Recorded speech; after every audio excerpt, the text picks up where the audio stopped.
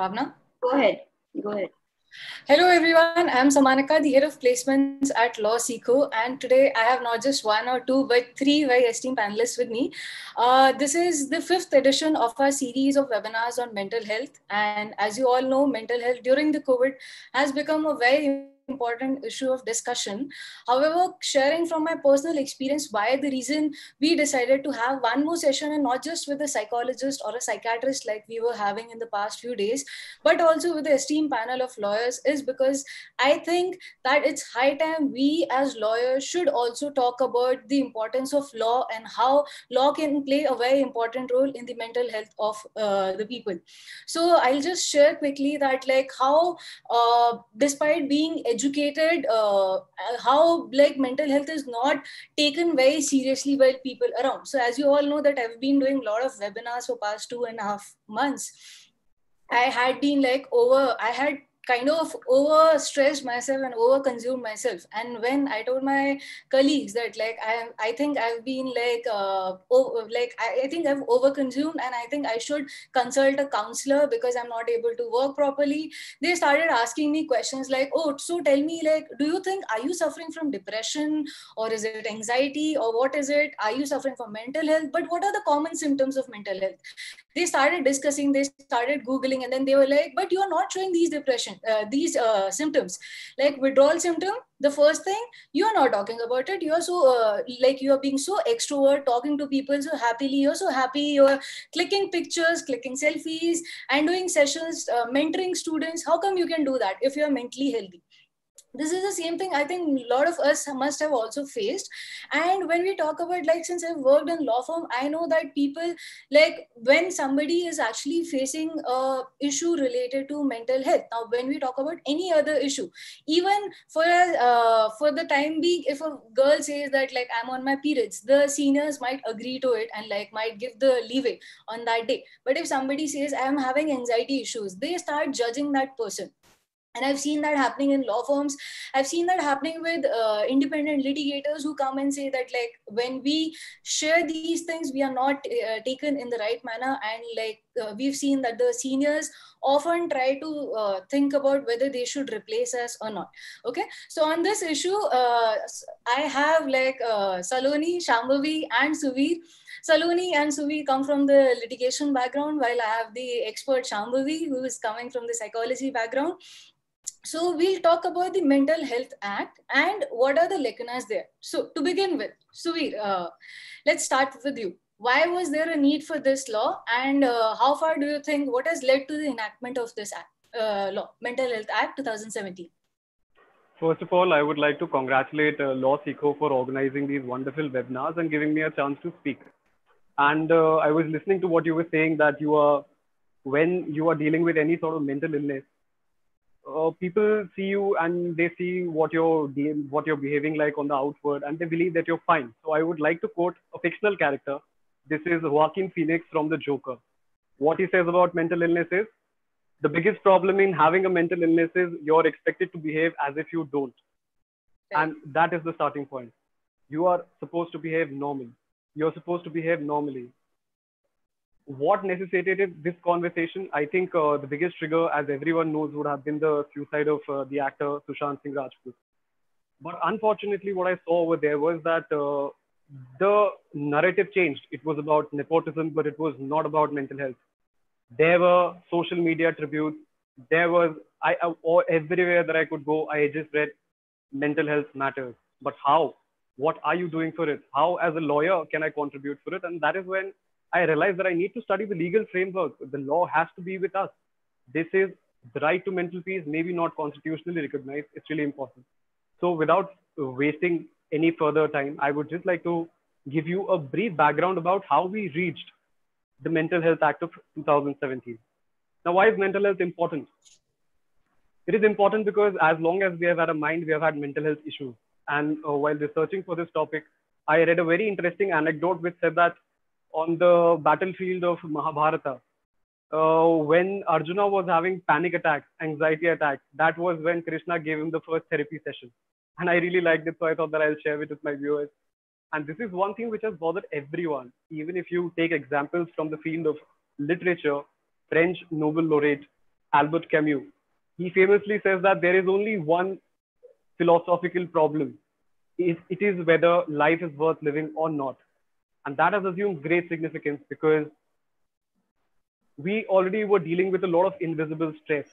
Things like social media anxiety, aggression and violence, substance abuse, marital discord. They might not really rank uh, very high in the list of mental health problems, but these are problems which we are facing on a daily basis. Some quick facts.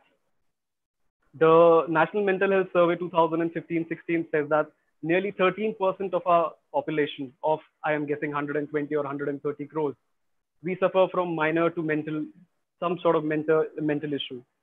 Now, given the population of India, that's a huge number. That adds up to anywhere around 10 to 15 crores. That's more than the population of Mumbai, Delhi, and a lot of cities like Jaipur, Chandigarh combined.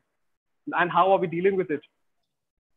The survey says that there are only 43 government run hospitals across all of India, 0.17 nurses for every 1,000 patients, 0.05 psychologists, and not 100 for a 1 lakh patients. Now, in India, how are we dealing with it? 1912 the Indian Lunacy Act.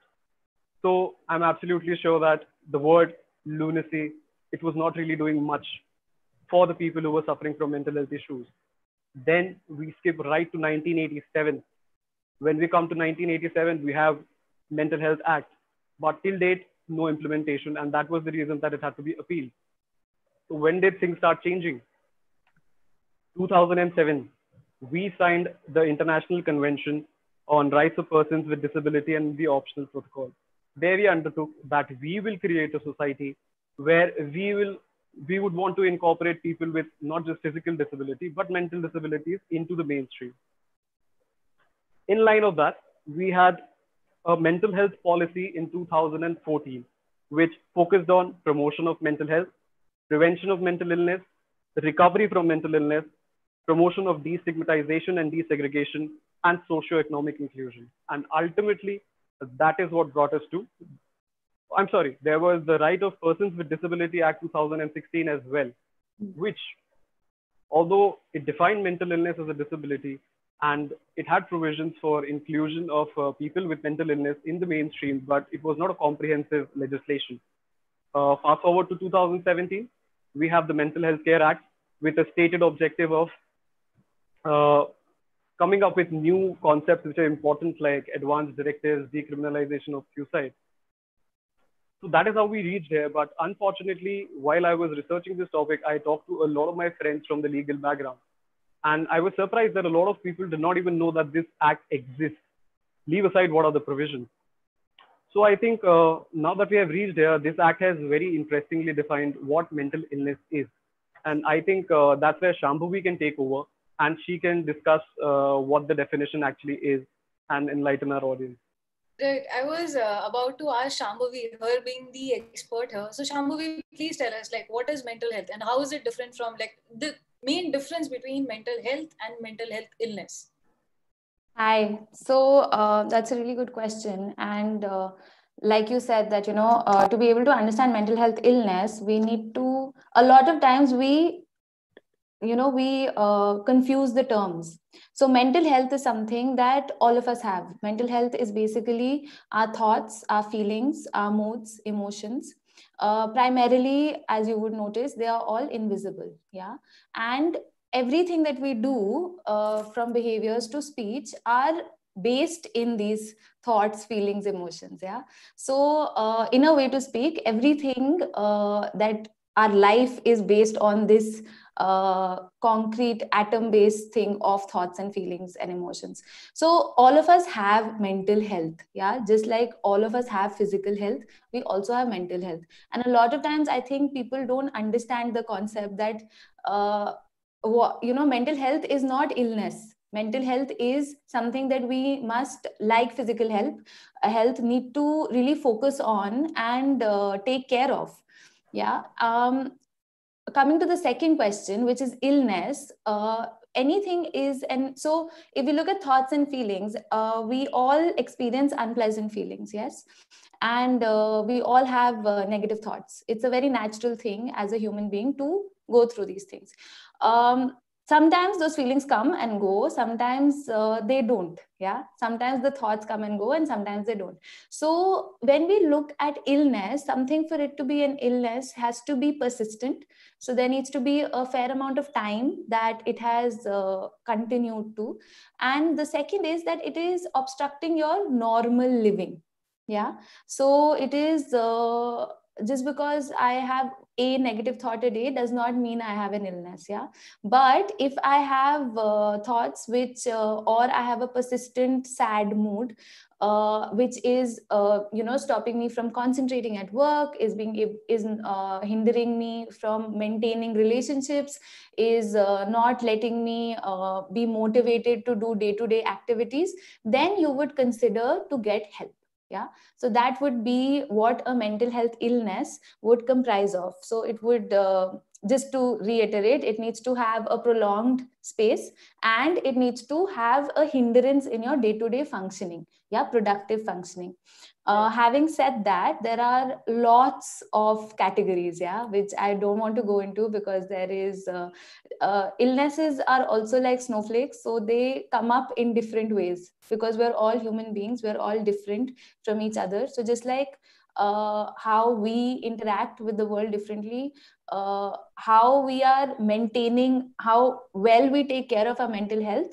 uh, has a huge impact on what sort of illness we may uh, go through um, i don't want to speak too much because then i won't stop uh, but it's important to understand that we don't have to have illness to start taking care of mental health yeah we always should be able to uh, prioritize on taking care of our mental health Right.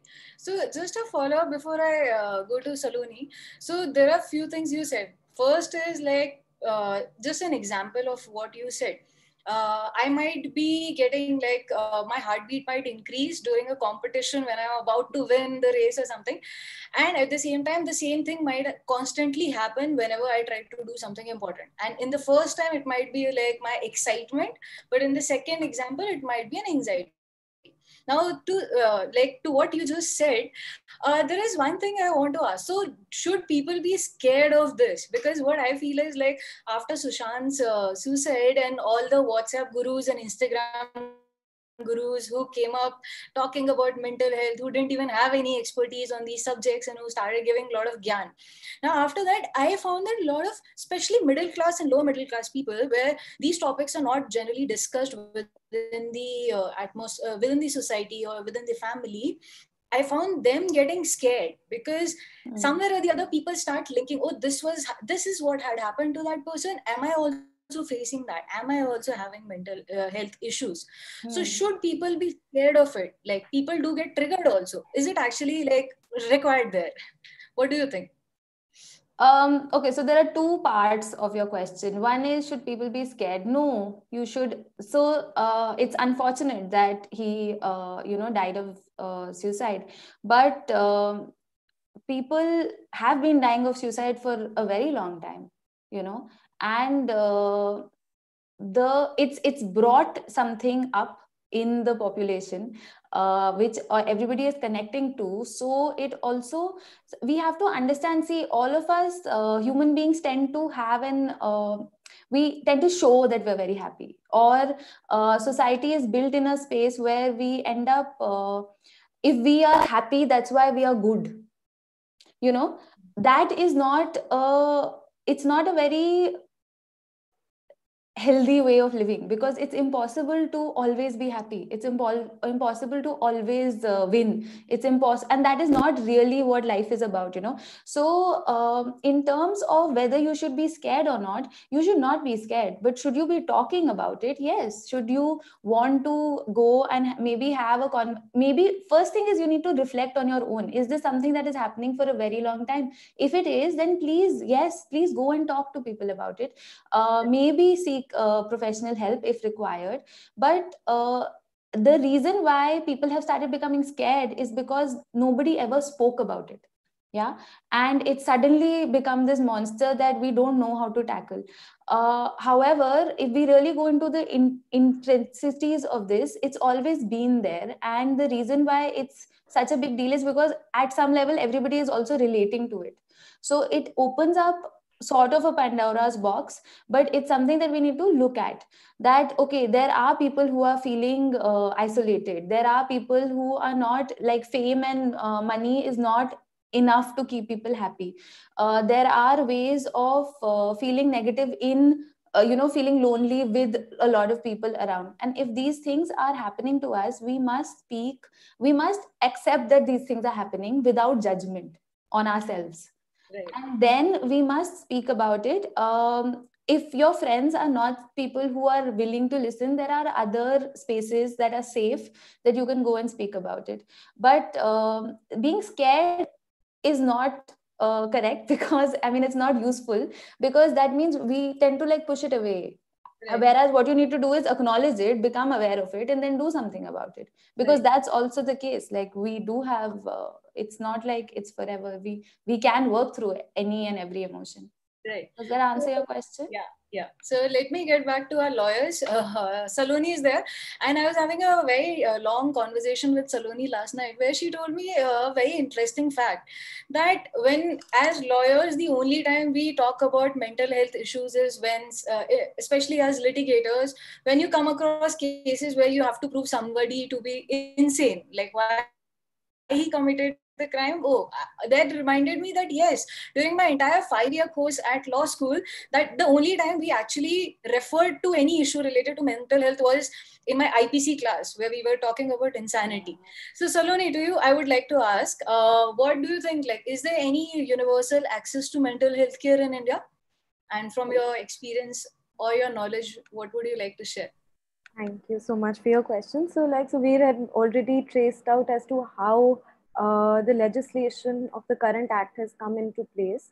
The Mental Health Care Act of 2017, with its objective to promote, prevent, and uh, to be talking about the rights of the persons with mental illness, has uh, also it's it's a little restrictive, but because we're only talking about the rights of a mental uh, persons with mental illness during the uh, delivery of mental health care and services.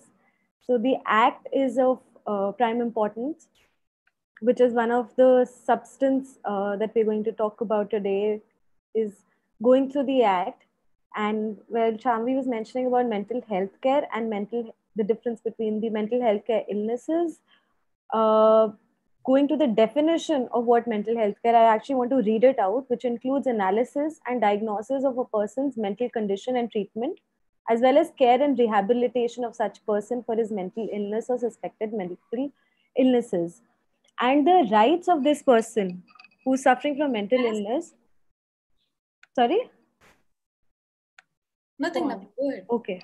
So the rights of the person who's suffering from mental illnesses is the core of the act and or rather the heart like a lot of uh, psychiatry journals have actually quoted it saying they've called these rights that they have to have uh, access to mental health care right to community living right to protection from cru- cruel inhuman and degrading treatment right to equality and non-discrimination. Now you can't be discriminated because you're of a particular gender particular race caste etc etc uh, there has to be right to information, right to medical uh, access to medical record, and right to mm, have confidentiality when you are admitted, perhaps in a mental health care establishment. Uh, there has to be a right for um, basic hygiene, sanitation, uh, prevention from any kind of abuse, be it verbal, sexual, emotional abuses.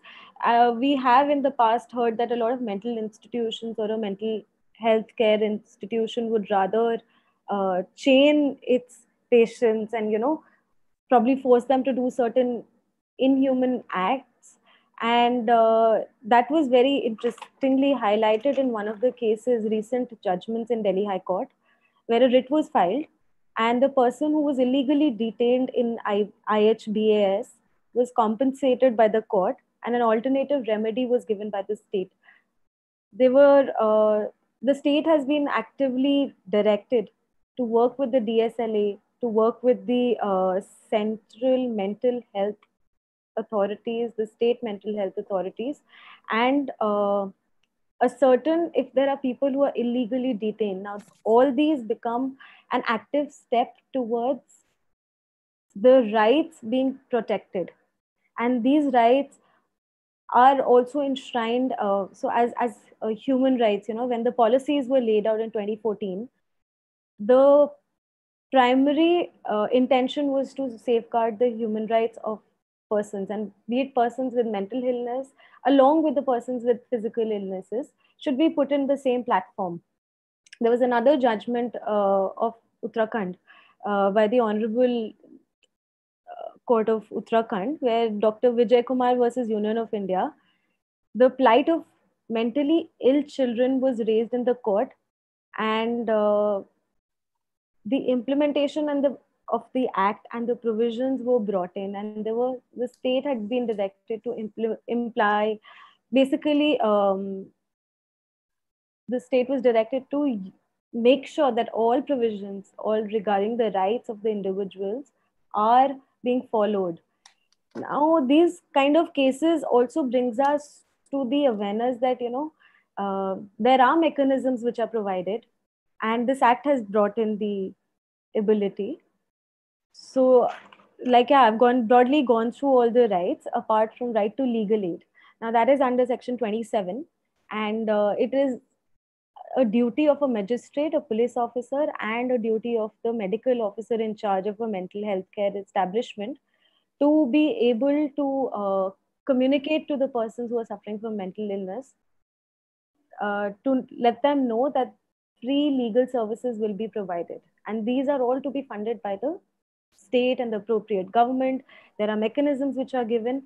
So, um, yeah, so those primarily include the access or the universal access to the rights of an individual for mental health thank you so much. That was like a detailed info which i personally myself didn't wasn't aware of. So i'm pretty sure that all those who are watching us on youtube and other social media and of course all our participants here on zoom this would be i think first of its kind session where we are talking about mental health from the point of view of law. And you've uh, like very nicely briefed all the precedents available on the topic.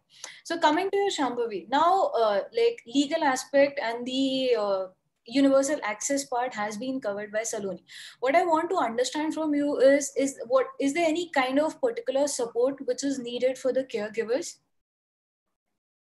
So um, I, I am law is not my expertise, so I will not be giving any precedents. But uh, I would like to. Uh, I do. I am aware that there is a concept of uh, you know how a person with a dis- uh, disorder is supposed to volunteer volunteer into a facility or services. And uh, personally we have to understand that um, mental health comes like i mentioned before also is different ways and forms yeah? But it does impact the functionality of the human being yeah? The person who is going through uh, an ex disorder is uh, not functional or productive in as a day-to-day uh, person. So this has an impact on the people around him or her. You know it's a very natural course that um, the caregivers whether there are parents or spouses or children sometimes uh, are in directly uh, involved yeah? And they are directly impacted as well. And with that it also has a huge impact on their mental health firstly and then there is also financial consequences to it. So uh, when we are looking at certain rights uh, which are very important there is no denying that uh, you know people of with mental illnesses are very capable of other things. Like it's not like you can uh, treat them as a separate uh, category per se. But we also have to sort of look at uh, what are the caregivers rights you know? And if we are saying that it is something voluntary um, are the caregivers uh, adept? Do they have that uh, skill to manage the disorder? Yeah? Because it in about 90% of the cases it isn't you know and then it isn't a fair asking. And nor is it helping the client uh, the person with the um, with the disorder. It is also really sapping the functionality of the family unit. So if I, uh, I'm going to share a brief extract of a client who had just messaged me uh, yesterday actually, and uh, so just to understand, you know, a lot of times we may we may not understand what really happens when we have a patient. Um, and he, she's basically said that um, I asked for a feedback on how xyz was doing. And uh, she said he is locked up in his room sleeps for 16 hours a day and eats only when we hand him the plate. Is not showering is not switching on the ac or cooler as well. Have not had a conversation with him for a very long time only speaks about settling abroad.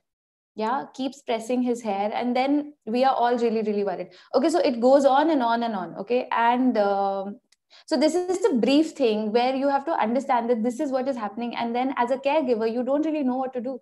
And uh, it's it's very hard. You don't you there's a reason why people are trained for so long to be able to take care of people like with mental illnesses.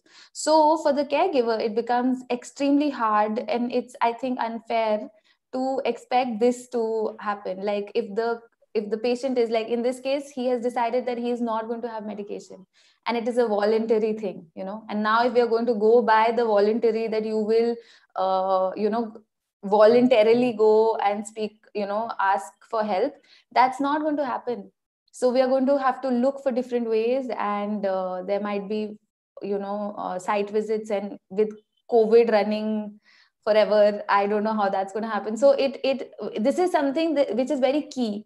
And i'm only talking about the logistical aspects over here. If you think of the mother of this child there there is no sleep. There is constant uh, you know anguish. So uh, that also has a huge impact. So this is something that we can because a lot of times that becomes the focus but caregivers also need a lot of support. And that is uh, i mean that's that's very primary because unless you don't have a support system it becomes very hard to flourish on your own. Right right. So moving to a legal expert Suveer uh, so like uh, before i move uh, ask my question just a disclaimer which i forgot to add in the beginning that uh, like this is just a general discussion we are having. Kindly do not consider it as a counseling session or a legal opinion session please. Uh, we are just sharing the knowledge we have so that like as a community we can grow and as fellow lawyers we can learn from each other. So we now what is the advance directive here? Is there any uh, like is, as per the act as per the mental health act like what's the capacity and does it talk about any nominated representative within the act? Uh, yes absolutely. And uh, we have discussed a lot about what mental illness is but i think it is very important to also understand what is not mental illness right? What are the categories which have been excluded and I'm talking about this concept because the concept of mental illness, the concept of capacity and advance directive are connected to each other, which I'll be speaking about over the course of the next five or five, seven minutes. So basically, I'll just tell you what an advance directive is. Advance directive is something akin to a will. A will is something, it's a, you record your wish uh, as to uh, how do you want your assets to be disposed and a lot of other things once you're no longer in the world. But advance directive is a different issue altogether advance directive as per the provisions of this act gives a person with mental illness the right to decide how and when he will be treated. So that's uh, there's some history to it. So I would like to talk about it. There was a lot of uh, debate about euthanasia in this country a few years back. And finally, in the year 2011, we came, we, uh, we got the judgment in Aruna Shanbhag, which legalized passive euthanasia. So that was the first step. Then we moved to 2018. There was a judge, there was a judgment called Common Cause versus Union of India, where living wills were given a legal status, which is an absolutely brilliant concept because a lot of people would not wish to choose a vegetative state of life. Now, coming back to what we are discussing, what is not mental illness? It is a very common uh, practice in our country, I would say, that belonging to a particular school of thought can make you, you know, people can brand you as mentally ill. And one example which I want to quote is uh, the example of homosexuality. There are a lot of people in India who, who claim that they can cure your homosexuality. They consider it as a mental illness. This act specifically says that it's not. So I'll read out for you. It makes for an interesting read. What is not mental illness? It says that political, economic, or social status is membership of a cultural, racial, or religious group. These are not factors which are relevant to determine mental illness. What else is not relevant? non-conformity with moral, social, cultural work or political values or religious beliefs. This is really important. The trend in our country is if you are not from uh, group X, if you're from group Y, you're mad. And it is actually stretched to limits in our country. So thankfully, this law very clearly says that it is not. One more, it recognizes the right of mentally ill people. It says that just because you have been institutionalized, that does not mean that you're mentally ill forever, which is a very important concept. That is a very important step towards destigmatization. That they say that that's not a disqualification if you have been mentally ill once.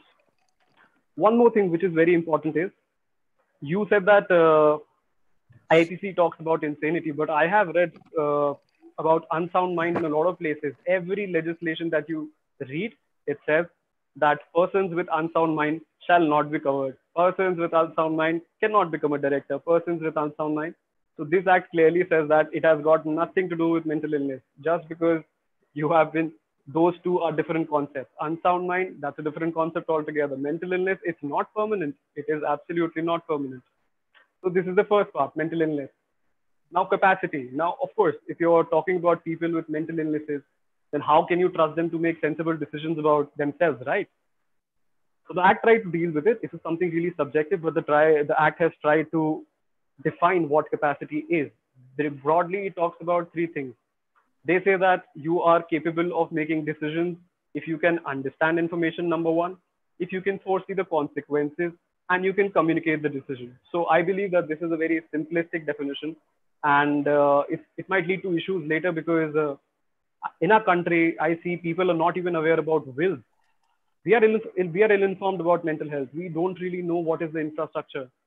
So can you let a person, even in the sane mind, decide a course of action for the treatment of a mental illness which he does not know about? You have given them the right. That's really noble. But how, how, how will he effectively, is there a check mechanism? But unfortunately, there is no check mechanism. The act says that even if the advance directive. Advance directive meaning this is how I want to be treated in case of a mental. And let me tell you that advance directive talks specifically about mental illness. It is not for any other illness. It will be covered by living wills. But over here, we are just concerned with mental illness. So this act goes on to say that even if your advance directive is perceived by others as inappropriate or wrong, that shall not mean that you don't have capacity, which I believe is a little risky in the absence of mm, counseling and awareness. So basically, advance directive. Now I think we have decided advance directive is any direction that you give. Who will execute it for? Sorry to interrupt here. Yep. I so Monica, you have a question. Sorry to interrupt. Yeah, I think we lost you in the last line. There was a network issue from your end. All right. So can you just repeat the last part of it? Depending on what was the last thing you heard. I like there was this particular line you were mentioning where about we advanced all right, directives. All, all right. So I am saying that advanced directive is basically a direction to your nominated representative about how you want to be treated in case of a mental illness. Right. There are some issues which we will discuss later when we discuss the general loopholes. And uh, one good thing is that it has provided for a mandatory registration of advanced directive with a board which is to be constituted at the district level, which we will again talk about later but there are some issues, right? I was thinking about it and I thought that what in case, and it says that you can change your advance directive n number of times. It is not a line in stone. It can change three times in three days. So the question which arises over here is that uh, you make an advance directive, you get it registered. And after that, you change your mind. What happens? You go to a mental health establishment. There is something which is on paper. There is something which you're saying. What happens in that situation? Something which the Act does not talk about, and I hope it is looked into. And apart from that, uh, we were talking about the right of the caregivers. So curiously, it has put the onus of finding out whether there is an advance directive or not on the mental health establishment and the person in charge. It has not cast a positive duty on the nominated representative to inform the mental health establishment, but the onus is on caregivers. So I think that is something which could have been addressed, but it does uh, talk about a caveat once you have made an advance directive and you suffer the consequences, the rights of caregiver have been protected. They say that if they are acting in furtherance of an advance directive, then nothing shall be held against them. So that's what it is. And one suggestion while we are at advance directive, it talks about board level registration. Board is a body which will be constituted at the board level. And we all know that in terms of registration, we are not really the best. The infrastructure is not really the best. So if we could have had a central database accessible by all mental health establishments, it would have done them a world of good. They could have just had the patient. They could have checked whether he has an advanced directive or not. But unfortunately, but unfortunately, it has not been addressed. So I hope in subsequent litigation over the act, we get answers to that. So I think that's my bit about advanced directive that was like way too informative. I wish I was carrying my notebook and pen, like I would have made notes. I'll have to go back to the YouTube video to check. I'm so glad that I'm not practicing uh, because otherwise, like I would have uh, to make notes right away. So I'm sure all those who are watching this and will be watching it us on YouTube later might make a lot of good notes from here. And I think colleges uh, should invite you for a lecture, like they should offer a course there. And I think I would want to recommend you as a faculty because you spoke so much, uh, like reminded me of my college days when the faculties used to come with so much of information. Okay, so you being the uh, legal expert and you've uh, very well summarized the entire concept of advanced directive next important question I want to ask you is now, what are these mental health establishment you just spoke about, and what is the admission and discharge process there? Uh, so, Samanika, I would like to break that into two different parts because uh, both have been dealt extensively, and I have a knack of explaining things in detail. So, I will just talk about mental health establishments, and I will try to keep it brief and slow this time. So, what is a mental health establishment? uh, the act has really done a commendable job and it has gone further and it has included alternate medicine practices. It says that people providing homeopathy services, Unani, Ayurvedic, any any form of establishment which caters to people uh, to people with needs of uh, treatment of mental illnesses. So that is a way forward. Apart from that, that is how it has been defined. I would just like to tell you a little about how it will actually work out, what will happen, what are the opportunities for lawyers here there is a lot of compliance. I can foresee a lot of compliance. I can see a lot of scope where legal professionals can get into the picture. I'm absolutely sure that all these mental health establishments would want lawyers on board so that they are absolutely compliant with the act. Now, when we talk about any center, our government, our country is very insistent on registration. So again, the stress over here is on register yourself, register yourself. But there has to be a minimum benchmark which has to be found by the states, which unfortunately has not been done yet. In the absence of guidelines, what happens? You get a temporary registration. You get a temporary registration which is valid for an year. And an year is a long time. An year is a long time when you're talking about institutes which are catering to such specific needs. Apart from that, what I see is that the onus is on mental health establishments to ensure that all the rights are kept intact. Some loopholes, which I would again want to point out here itself, because uh, if we just take it up later in the session, it might just not make sense. It talks about an audit which is three years, once in three years. So I think that might be too long a gap, and I think uh, maybe Shambhavi would could add on to it that what exactly are the day-to-day requirements of a mental health establishment. And I think uh, I would just like to stop here now because I've been speaking for a while and give the other panelists a chance. The admission process, the discharge process, I would like to address later. So I think uh, maybe if Shambhavi could add to something, what are mental health establishments looking for when they get a patient? How often do they want to interact with the authority? What kind of power or authority do they want with the patient? So if Samanika is all right with it and if uh, Shambhavi could answer that. Is Samanika all right with that? Yeah, definitely. Yeah. So, um, okay, just to again um, go back, this is a very general discussion and it is impossible to cover uh, everything. Uh, also, again, going back to the fact that illnesses can be like snowflakes and every person responds differently. Uh, for a mental health establishment, as um, as far as I know now, again, that is also different. You know, there are in inpatient services, there are outpatient uh, is is it is this working? I'm sorry, there is something going on with my. Am I yeah, yeah, yeah, yes, you are audible, Shambhavi. Go ahead. Continue. Sorry. yeah, so there are different types of. Sorry. Okay. Uh, there are different types of services that are uh, possible. So, in terms of, say, a mood disorder with uh, bipolar or depression, you would not have to stay at the facility. Okay. And at that point of time, the mental health establishment has the, you would want to meet depending on the symptoms that you're showing. You would want to meet the caregivers depending on the symptoms that you're showing. And um, uh, to be able to refer back to how to manage the the entire illness okay at home.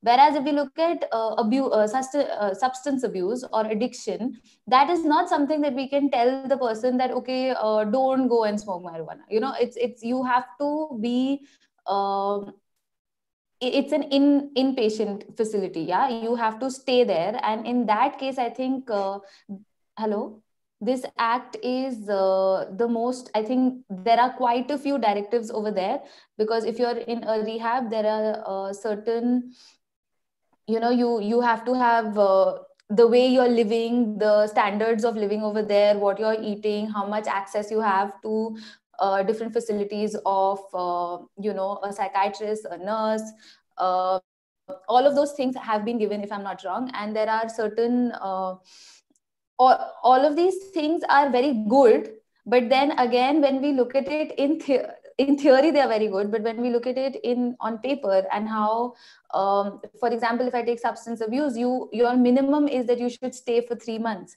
But when you look at uh, you know actual uh, addiction three months is not a lot of time. You know it takes a long time to continue uh, therapy in order to uh, actually uh, come out sober.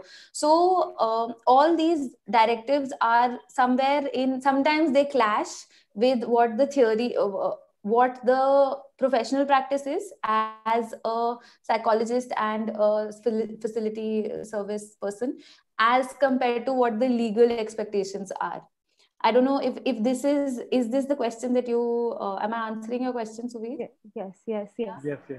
to so, quite an extent, uh, that that is what we were wanting. Yeah.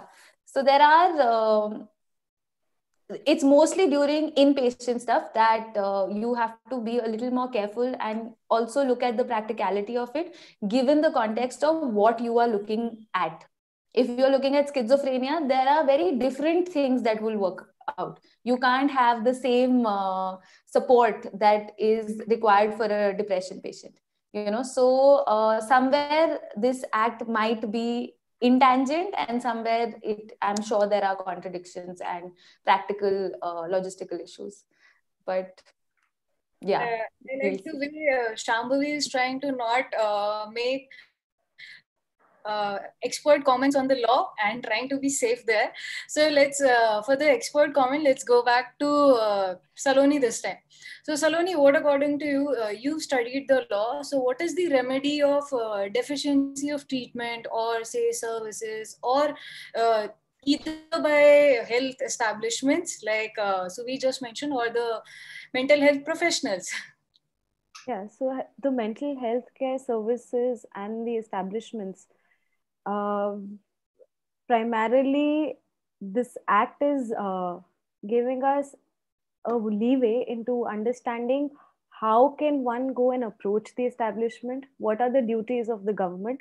What are the duties of the central health authority the state health authorities? Subsequently i think i'll ask uh, Suveer to talk about the boards and the formations and the more technical aspect about the act but uh, if there is a deficiency which one is facing in a consumer court i mean in a consumer forum if there is any deficiency you have a court and you go and approach them. That i have not been able to get a particular uh, like particular solution out of it. Now when it comes to a mental health care establishment up until now there wasn't any way that you could actively or directly go and ask for a remedy. Now, section 28, it talks about uh, putting a complaint to the mental, uh, so to the medical in charge. If the medical in charge cannot resolve your issue, you can go up to the board. If the board is not able to resolve your issue, you go up to the state authority, central authority, subsequently to the courts, and that has that progress or the uh, remedies in law have been clearly stated out. That is one part of the questions that perhaps you uh, wanted to ask. What is the deficiency? The second is uh, what I wanted to talk was the central authority. Now, what is the act in its uh, the act talking about what is the functions of the central authority? How can you formulate it? What is the purpose of it? Uh, this act is apart from the rights aspect is more uh, procedural. And it is it is giving out examples or it is giving out laying out how the procedural aspect of law can be uh, implemented. The act lays out that the terms of office salaries allowances of chairperson who shall be a chairperson who shall be the member of this committee or the central authority what should be the functions of the legal representatives of the authority? And uh, like the act of 1987 what are the kind of transfer of liabilities and assets which bring in or come into execution in this uh, 2017 act? Basically when you're talking about deficiencies and you're talking about mental health care system in india or you're talking about the services that are being provided like Shambhavi had highlighted there may be something from a practical purpose to a legal uh, conformative purpose. Now those may come in conflict or they may be in harmony. That is for us to now kind of explore in the coming years because up until now there has been pretty much disharmony between the human rights aspect regarding the practical aspect of dealing with mental illnesses and actually implementation of the healthcare services in india uh, in fact i was just reading and came across a news that the budget of mental health care was approx 20, uh, 20 uh, crore in two, 2000 and it has only increased to about 40 crore in 2020 so we also have a financial um, i think lacking in the medical healthcare system or in in particular the mental health care system. So i guess the allocation of the funds the budgets the review of the past uh, finances that is all the responsibility and the role of the central health authority. And uh, they are taking in uh, consultation or consideration from the state mental health authorities. Then i wanted to talk about uh, the duties of appropriate government now the act very generally mentions the appropriate government the appropriate government which i'm assuming is the ministry of uh, health and family welfare. So, which department, what we've gone through. I went through the website as well and uh, realized that it was updated in 2016 regarding all the programs which have been undertaken. There has been promotion and awareness campaigns by the uh, government and the appropriate government.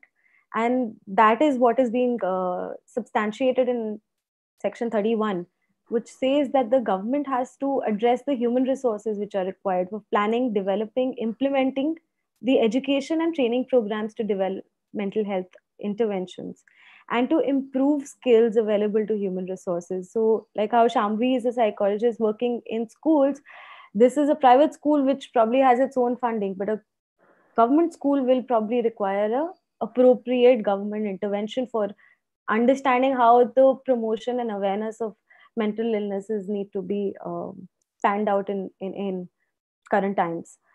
And uh, the guidelines also talk about uh, preventive programs and creating awareness and reducing stigmatization associated with mental illness.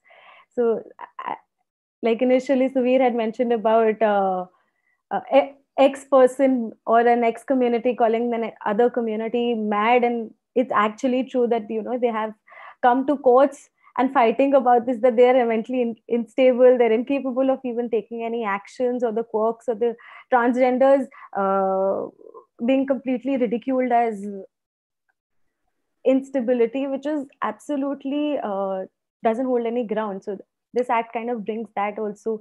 And how we need to um, address it in, in in our daily lives in our day-to-day dealings and that is a very loose aspect which has been covered uh, as far as the act is concerned, but uh, I'm sure it answers our query about uh, deficiencies. But I wanted to ask uh, Shambhavi regarding the promotion and the awareness aspect of mental illness. Like, is there an active participation from people, from schools? Do you generally get that kind of? Uh, so, um, I think um, we have to acknowledge the fact that we have come from uh, an act being called the Lunacy Act to Mental Health Act. You know, uh, let's let's give credit where it's due, um, because and that's that sort of reflects the perception of society. Yeah. So mm-hmm. uh, at one point, when we uh, assume that based on your sexual orientation or just the whole concept of pagal being uh, the ultimate abuse you know uh, we have we have uh, i think as a society as a country india has finally we are starting to become aware that this is something that does not uh, discriminate at all. Mental health uh, issues are uh, found in uh, all sorts of uh, economic stratas and all sorts of uh, genders and um, work profiles, some more than others, but it's possible because it's a very human thing. Um, so, in terms of awareness, yes, there uh, I feel that we are a little more within the age of social media. Also, I feel that uh, has a huge com, uh, component component to play. That uh, we are talking now okay but i feel now we need to start acting and uh, acting only happens on prevention level you know uh, even if you look at the act it is uh, i from whatever i have noticed and like uh, samanika very rightly said i am no expert on it. So what i see is a jab problem aega to kya karna yeah? When when we are already uh, going through severe crisis what what are my rights? What can i do? Where is this uh, access? Things like that. However that is stage 3 you know? So the first would be like your awareness space which i think we are moving on to. We really need to start doing working on preventive skills now. And i feel like uh, personally i am in an international school and i have been able to push this agenda forward. And i have been in um, lots of webinars for the past 3 weeks on how uh, you know counseling mental health uh, counselors are playing a pivotal role in the covid times because mental health is uh, being targeted all the time. You know there are there are so many complications that are coming up now. So uh, and if uh, like the government schools have also mandated a counselor. So that's a very very good thing but the counselor is not paid very well you know and the counselor may not have all the qualifications. And that is the this is the double edged part of the this knife of mental health wo, because a lot of times we may say oh we are here to talk. But we may not know once the person has come and told us uh, you know i would want to kill myself. What are you going to say? And if you're just going to say yeah that's better off as a joke uh, that is every word that you're saying is going to have a consequence. So i feel like now um, we we are moving forward but in terms of school it is very important for us to have qualified individuals who can really explain and share how um, learning to train your thoughts can really change the way you work in life. Yeah how you manage your life is fundamentally how you manage your thoughts and if we and it is not easy to do. It's very easy for me to say this out loud but when we have emotions involved uh, when we have non-awareness of the fact that you know we all have patterns of deflecting and denial and you know moving away from uh, the sadder aspects of our life it becomes very hard to it, it requires a very qualified person to be able to come let you come to terms with it and move forward and imagine if when we are shared sharing the fight of independence we are also sharing these are your negative thoughts. How can you make them uh, and it doesn't have to be positive. Please understand negativity is a very natural part of life. So how do you deal with it? You know like i may not like my nose but that doesn't mean i cut off my nose and you know not look at it ever. I need to learn how to deal with that nose. So in the same way how do i deal with this? And I feel like the problem right now, uh, I think Suveer also mentioned, is that you know we are looking at a problem, but not looking looking at what needs to be done. We are looking at it and saying, "Oh, it's so sad," but we are not looking at how do am i having negative thoughts? Have i ever considered suicide you know?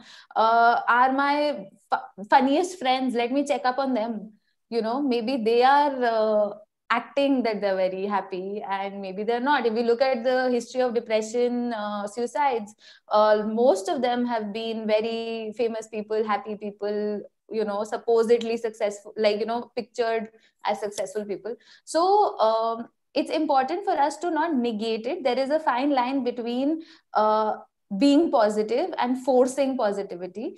Uh, it's as schools uh, it's important to have qualified individuals. And i would if, if there are any people over here right now who can make a difference please uh, i think in terms of management implication implementation uh, it's important that we start at the school level and people are educated to take care of their mental health uh, just like they are educated to do 2 plus 2 and you know history and geography things like that and it is starting but uh, there is a lot that we can do a lot more that we can do right uh, so just like last few questions because it's already 6.56 if i may have your permission to extend the session for around 15 20 minutes because there are a lot of interesting questions on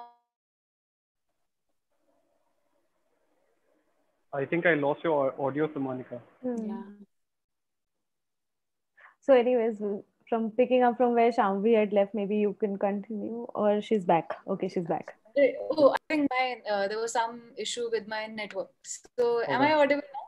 Yes. Yes, you are. Just requesting if you could allow me session for 15 because there are a lot of interesting questions on Zoom as well as on. So we'll extend it to 15 minutes. Okay. Okay, so Suveer, uh, Salonee had mentioned about the mental health review boards, which she wanted you to uh, talk about.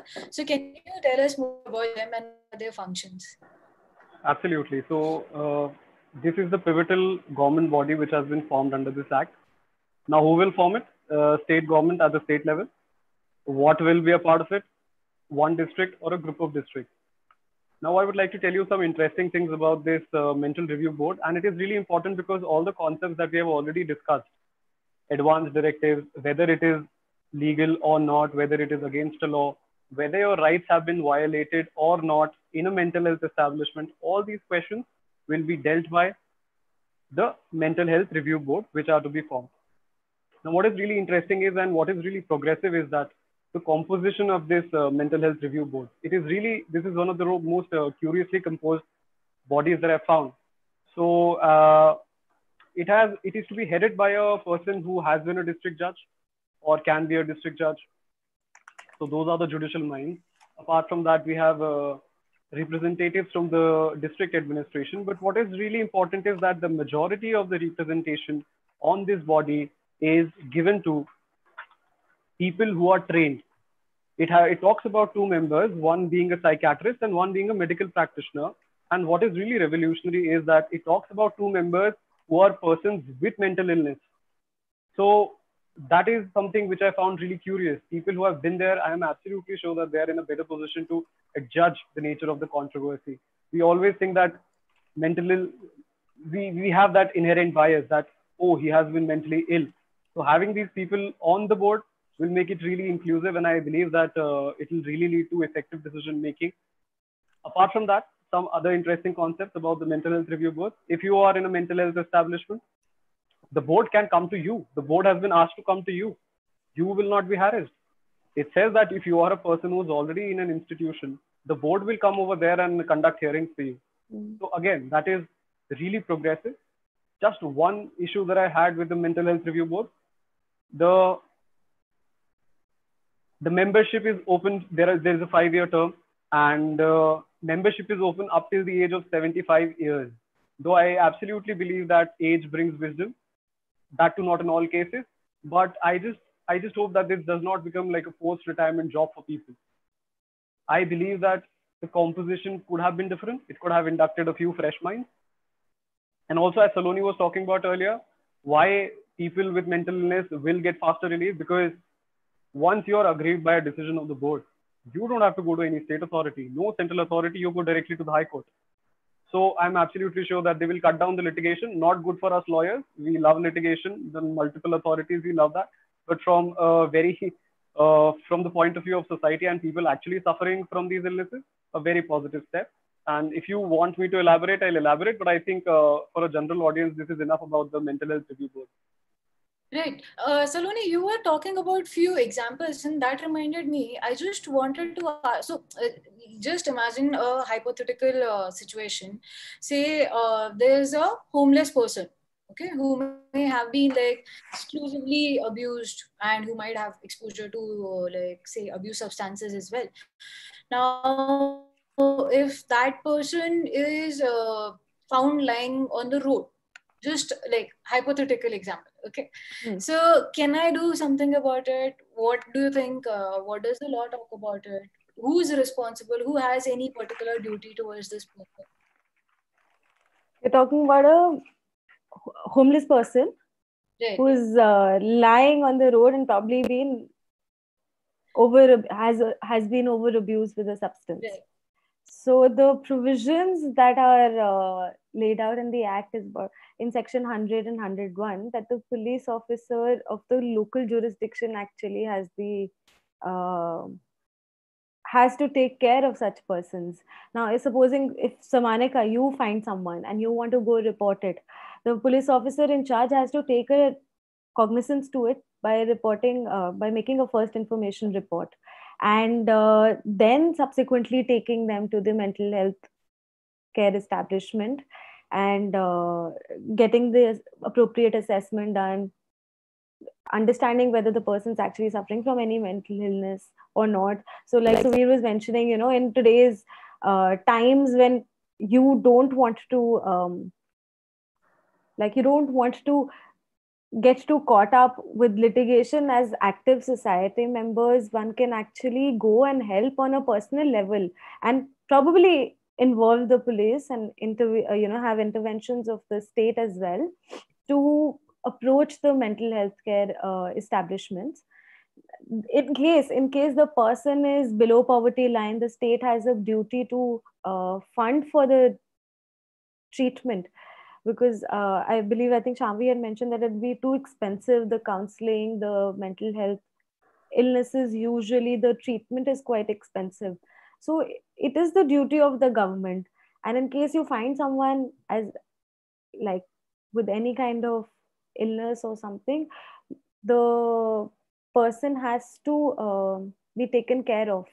And and in case you can find their family then it is the imperative or the responsibility of the police officer in charge to go and uh, inform the family and uh, yeah like so i think we've basically now covered Yeah. if there is a deficiency what are the rights what are the advance uh, directives who's the nominated representative what is the support which a caregiver can uh, provide and uh, how and why mental illnesses yeah need so to be last put in question which uh, Suveer had Yeah. uh, give for the end the discharge Yeah. process with respect to the mental health establishments if you could quickly touch upon Please, that I like, yeah, yeah, absolutely. I'll quickly do that. Uh, so what is happening is that before we talk about discharge, let's talk about admission. So it says that for the general audience, if you feel that you're suffering from any mental illness, you can absolutely go up to one of these institutions where there is a, it is a duty on them, it is a duty cast on them to examine you and ascertain whether you re- need requirement, uh, whether you need to be admitted or not. When we are talking about admission and discharge, I will quickly go through it. Three broad categories independent as i said anyone who feels that they're suffering from uh, any sort of mental disorder they can absolutely go to these mental health establishments get themselves admitted then there are people who are who are not capable of taking these decisions and if they go to the institution then the nominated representative has to take a call subject to whatever the advance directive is. Uh, what i would like to highlight in just 5 minutes is that the procedure for admit for admitting of minors is uh, slightly complicated because two independent professionals have to ascertain that you are actually suffering from something and you cannot you cannot be helped apart from being uh, admitted into a mental health institution. So they say that community intervention has to fail in the case of a minor and uh, even though as it might be a very noble intent. There might be a noble intention behind it, but there are children who need. I think Shambhavi would agree to that. There are a lot of children who are suffering from mental illnesses, and this act has kind of made the admission process difficult because a legal guardian needs to stay with them at all times. This is about the admission, discharge very quickly, and independent person can be discharged anytime. You tell the mental health establishment that I want to go back. They will do a quick check and they can you can go back which I feel is a little unfair for the mental health establishment. And apart from that, if you are a person who has been brought by someone, you're not in a position to take your own decisions, then you can be kept for only 30 days. That's the time limit. Beyond that, permission has to be sought, and you cannot be readmitted within seven days, which again, as Shambhavi told us, every illness requires a different period. So just making it 30 days in each case is a, it's slightly prohibitive. And even in the case of minors, you cannot keep the minor in a mental health institution for more than 30 days. And for them, discharge is compulsory after 30 days. And I think in all categories, in supported category and with minor category, uh, discharge is compulsory after 30 days until and unless they believe that there is something that you need to stay. You get a break for seven days and then you come back again. So that is quickly the admission and the discharge process. Okay, so let's uh, pick questions. You can start from the questions uh, there on. Yeah, I was looking at one of the questions Aditi has posed. Posted, is there an active SMHA, which is a state mental health authority in our state, uh, and CMHA, which is Central Mental Health Authority in our country? And as I had mentioned, that the chapter six and seven of the Act uh, has given clear guidelines as to who constitutes these authorities, what is the role, responsibility, and I'll just repeat it. They register all mental health care institutions, fund and direct quality services to institutions. Uh, the list of medical professionals is usually found with either of these, or rather both, with both the authorities. They provide for halfway homes sheltered accommodation, supported accommodation, uh, provisions for home based rehabilitation, hospital and community based rehabilitation, child mental health, and old age health. So, all these are the broad roles and responsibilities of both the uh, central and the state authority. So, yes, we do have, in short, we do have. Okay. Uh, yeah. You're saying something?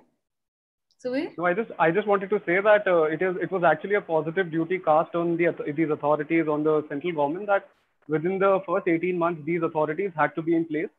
Uh, the Central Mental Health Authority is in place today, though you cannot really find it on the internet, but it the, such a body exists.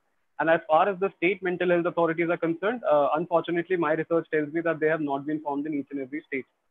So yes, still, only exceptionally in Uttarakhand and Delhi, depending Absolutely. on the litigations which have ensued. So we've we're already quoted there were those two cases. Absolutely, yeah. Okay. Okay, next question is In your experience, uh, what are the ambiguous parts of the act, such as the guardianship of the patient? Any one of you can pick this? Regarding the guardianship of act, Yeah. Like, based on your experience, what are the ambiguous parts uh, in the law, within the law, loopholes? with Can I speak? If Okay. anyone wants to go ahead. so you can. please go ahead. I am confused about the question. All right. So yes, there are a lot I'll of loopholes. Hmm. Okay, so there are a lot of loopholes because uh, the entire stress is uh, waiting for a situation where your situation is so bad that you need to go to a mental health establishment. The focus ideally should have been prevention, or even if it should not have been the focus, they could have provided for prevention of mental health illness. That is something that the Act is silent on. Number two, advance directive, as uh, it is a wonderful concept, but unfortunately without awareness that might lead people to take decisions which are actually against their interest if they are not informed about mental health in such uh, as such it is very difficult to expect them to take decisions one more portion which is not a loophole which has not really been discussed so far and which is one of the very important concepts that this act has uh, introduced uh, we know that uh, attempt to suicide it was a criminal offense earlier now it has been decriminalized so this is the act which has done that Hmm. this is the act which really specifically talks about that. It is section 115 and it goes one step further. And it says that once you are a person who has tried to commit suicide, it is a positive obligation on the state to provide you care, treatment, and rehabilitation. This is something which was not existing in other versions of the law. And this was one aspect that was not really covered so far. Apart from that, I believe that uh, whatever are the shortcomings, I have discussed it with the topics that I have covered. If there are any other loopholes, I think uh, my other panelists can discuss them. Yeah, Shambhavi wanted to go second. So I just want to mention one aspect of uh, mental health ac- uh, access to resources and services, which is uh, money. Yeah, which is a very important part. And um, I, I again, I don't know if it is, it should be a part of this act or another act, but there is no concept of insurance uh, for services that require uh, uh, mental health um, you know rehabilitation.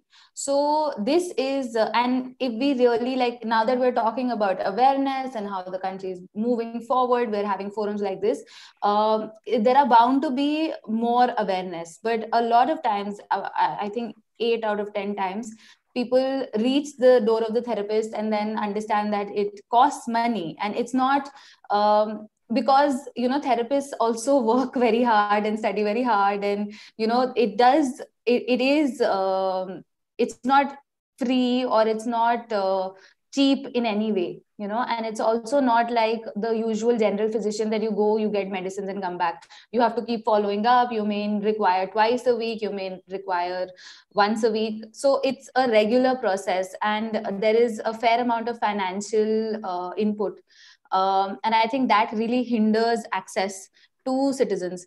And uh, that is something that we have to uh, look into because uh, I think that is a huge thing that stops people from accessing uh, uh, you know accessing mental health services.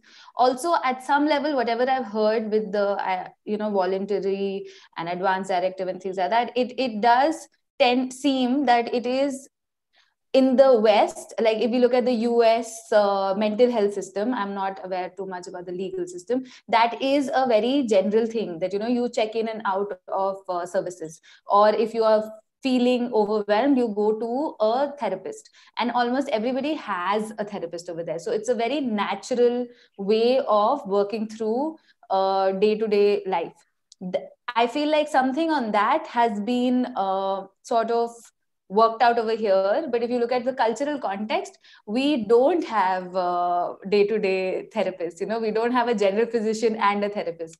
So uh, that's where i feel that it uh, somewhere the shortcomings do come ac- around because uh, you can't work on the same uh, parameters. There are different uh, aspects over here.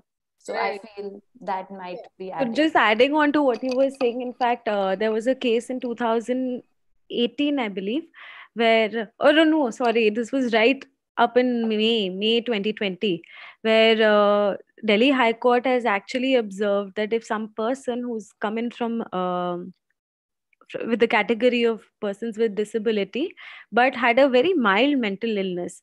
So initially the person was rejected for services but high court took a very advanced and a very progressive uh, stand and has allowed institution of the persons who is suffering from mental illness to be reinstated or to be appointed in the services so while we do have those cultural differences, while we do understand that there is um, stigmatization, I think we are still in a more progressive, uh, uh, we're taking the progressive steps, right?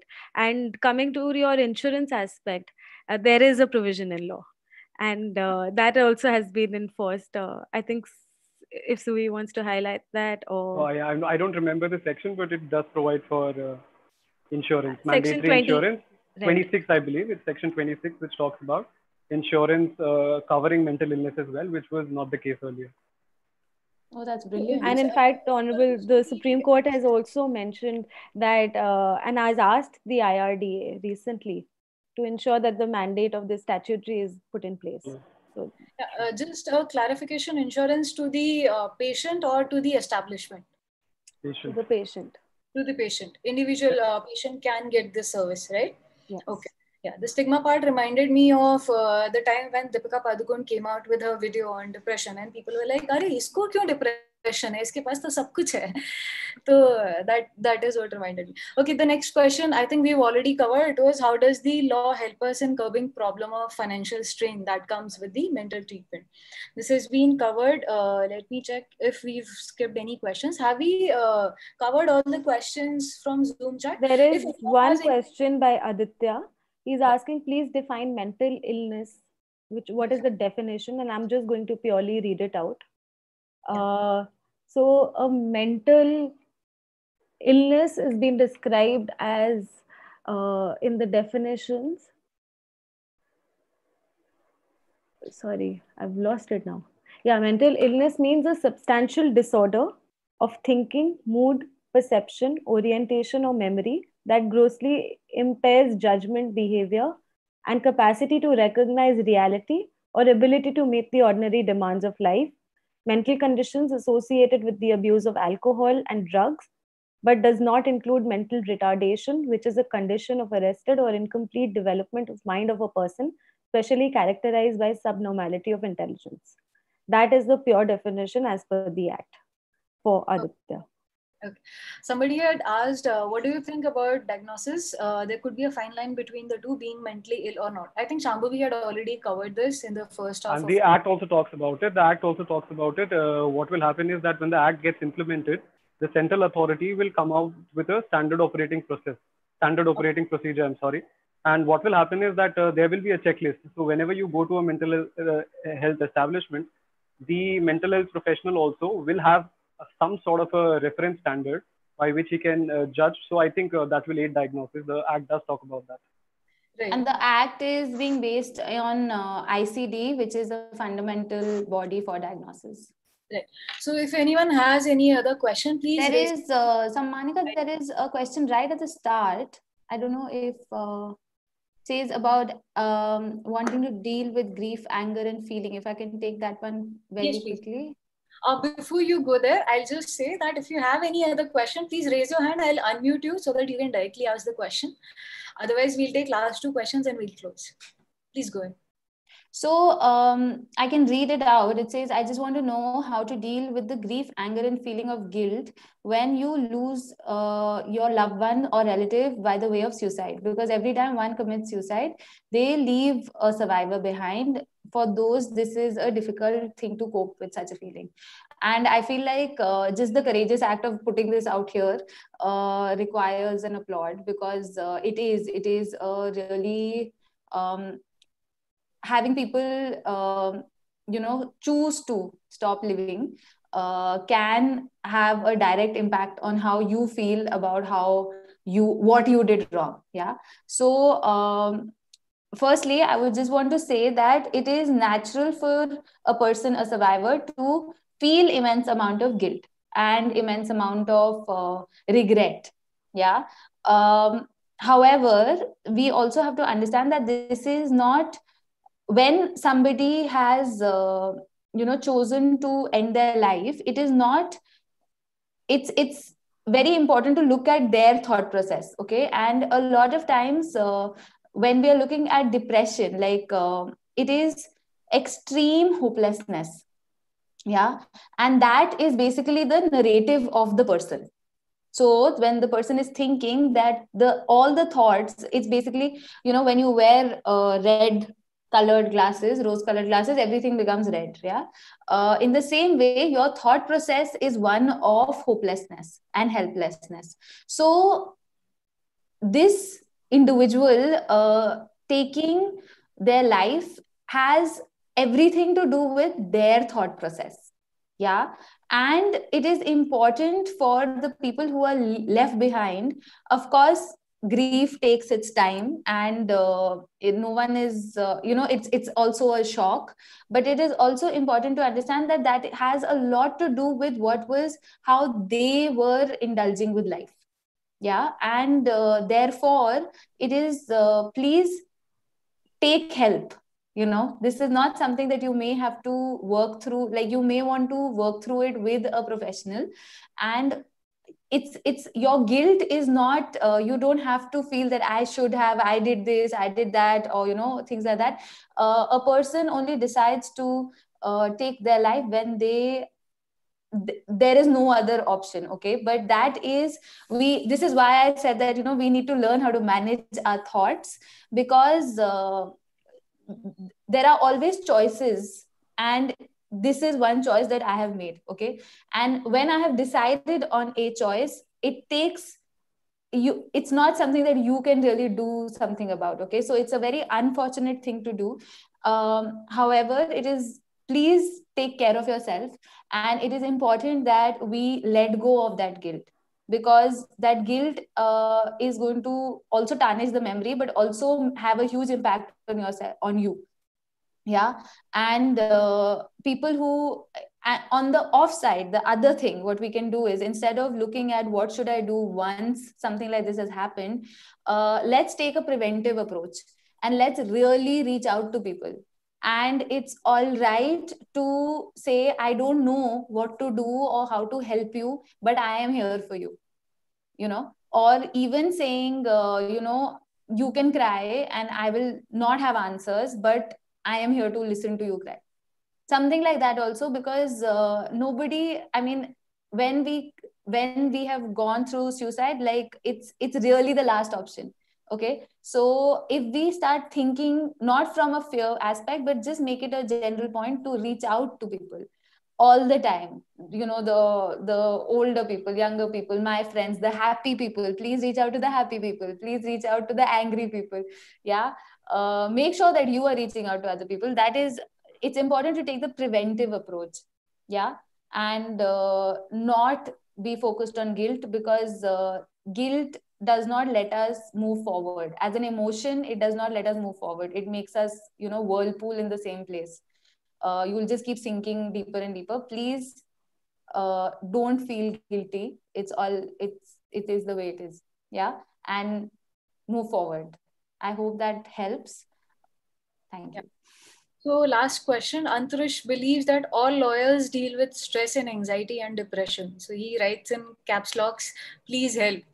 Okay, so here, like, if we all are suffering through the same, like you said, reach out or you should reach out. Now, if somebody, say, for the same person, if he feels that he's going through uh, similar emotions, then at that point of time, how can he reach out to somebody else and ask if they are fine?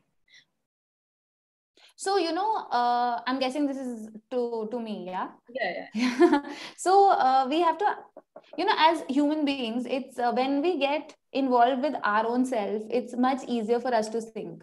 Because then our vision becomes very sim- just to i me myself. The uh, i know you think that you know when i reach out if i ask somebody else uh, how they're doing uh, it will not help me. But at a human level we are all um, how do I say it, coded to help each other out. It we live in a very independent, uh, interdependent society, you know. So uh, that is why when people volunteer, they feel so good because it releases those happy hormones. So even if you may not want to hear, it's all right if you you know when I'm saying reach out, you can also reach out and say mujhe problem ho hai, and I am feeling sad. Yeah, but also we must understand that we need to have our mechanisms. Like i don't want to go into it because it'll it'll become uh, really long but we all have uh, i'll just quickly say there are all your doubt thoughts all your thoughts that tell you that you're not good enough all the thoughts that make you feel inferior they are all lying to you okay? Everything is not per- nothing is permanent yeah? So you just need to take the thoughts and then work through the fact that it's not permanent some people do it through religion some people do it through spirituality some people may work through different things. I encourage everybody to find a space that they can work through things. Yeah? And this is this needs to be a conscious it doesn't happen apne aap. Nahi hota hai wo. You have to consciously seek uh, make time for yourself.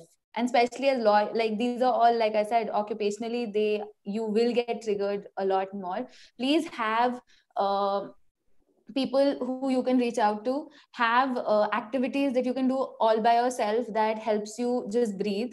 Uh, have some you know like uh, catchphrases that you know you can just go back to and be like this is this is just right now and it's going to you know there will be an end to it. Uh, or i can manage this because you've managed all these things at the past.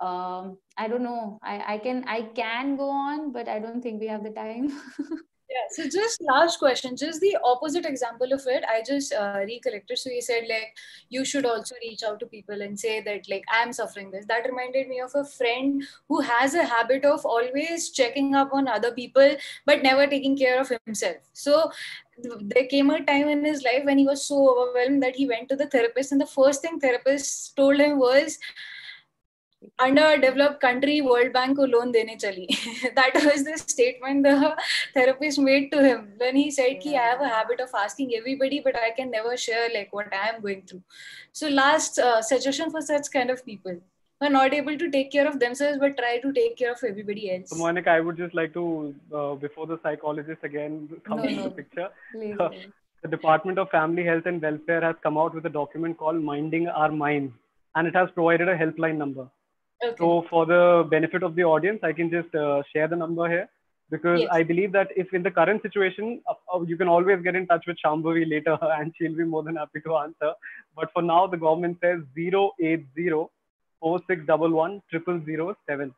080 4611 If these feelings have been triggered due to the lockdown, or I hope that this helpline stays around for longer. But if uh, if you think that you have reached a crisis point right now and therapy is not readily available, you can call this number. Um, so I'm also going to just, uh, if that's okay, um, going to put in a link which is uh, basically an online uh, counseling services. It's not therapy, it's counseling, um, and it's online. So you can, uh, and they match you. They ask you a bunch of questions and they match you to the person, uh, a therapist, and they're all qualified therapists. Um, and it's on. Uh, I feel like in COVID times, maybe we can. Is that all right? Can I put it up on the Yes, chat? you can put Yeah. here on Zoom. Also, if you can orally mention about it, because So it is uh, www.betterhelp.com. Yeah, B E T T E R H E L P dot com. So uh, this allows you to uh, access help whenever. Uh, just coming back to your question, uh, you have to put your oxygen mask first. Yeah, you cannot help otherwise. Uh, you cannot give from empty cups. So, like your friend, you will burn out. And uh, this is also important that sometimes we over uh, help. And again i will go into and i don't want to go there but it, it you helping somebody else is also uh, managing uh, your own needs you know? So we have to figure out ways of managing those needs in a more uh, better way and i feel a lot of times like i started also that we ha- live in a society where we feel that if we are productive we are good. Uh, if we are successful if we are making money only then we are uh, worthy of you know respect and help and love. But that is not the case. Please take care of yourselves just as you are and then we can become all those things. Yeah? Uh, it's not an effect it's a cause. I, am i making sense So uh, that's all for the day. We've already reached 7.30. It's already one and a half hour. Thank you so much, all three of you. Is there anything else you want to add or like, do I have your permission to close the session now? It was really uh, like quite informative. At the same time, like I got to learn a lot throughout the process. There are a lot of notes I have to go back and make from Suveer's uh, elongated speech. And uh, I'm glad a lot of uh, practicing advocates and young law students and lawyers who are watching this might benefit a lot from what he's taught. Like, even if we may not be practicing, but if somebody around us is suffering on similar grounds, we'll be able to help them with it. So uh, before we close the session, I'll request the audience to rate the session on a scale of 1 to 10. Uh, 0 to 10 actually, 0 being the lowest, 10 being the highest, so that we can uh, get to know whether you found it helpful or not. And do any one of you have anything to add here? No, I thank you just for thank you. having us, We- yeah. We just had to talk about this mental health. It needed to be discussed, the law, and uh, everything related to it. And I believe that now people know that the law stands with them. So probably they can go to these institutions and uh, take care and just you know avail the benefits available to them. Absolutely. I'll add, add to that that the state is with us, that the mech- mechanisms which are provided by law are with the people for who are suffering from mental illnesses apart from of course private professionals who can be reached out on personal capacity but the state is in complete uh, co- consonance with the thought. And and in times like these when the pandemic is uh, probably here to stay or per- perhaps be there around we might as well make use of it. And th- that is what our intention was to come up in this webinar. And and please go read the laws access the appropriate ngos perhaps go to the uh, go for your counseling go for your sessions. It's absolutely normal so that, And I'm that's glad about it. that in addition to the common uh, crowd and the psychologists and therapists, it's good that lawyers have also started discussing this. So, like we need to. We are Uh, stressed if we have a lot of work. We are stressed if we have no work. So we are always stressed. yeah, I So- would really like to thank, uh, you know, when I, when I told some like some of my colleagues that it was the legal forum. Uh, initially, every like it was such such confused looks, uh, but I really uh, appreciate that uh, you know this this because it's so important for uh, everybody to be aware of what you know, like Salonee said, that the law needs to be uh, taking care of the people and the people need to be taking care of themselves.